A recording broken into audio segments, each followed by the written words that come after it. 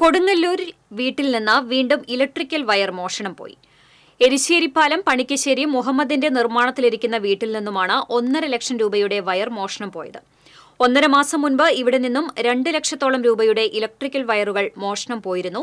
ഇതേ തുടർന്ന് വീട്ടുടമ സിസിടിവി ക്യാമറ സ്ഥാപിച്ചു. സിസിടിവി ക്യാമറയിൽ മോഷ്ടാവെന്ന് സംശയിക്കുന്ന ആളുടെ ദൃശ്യങ്ങൾ പതിഞ്ഞിട്ടുണ്ട്. കൊടുങ്ങല്ലൂർ പോലീസ് അന്വേഷണം ആരംഭിച്ചു.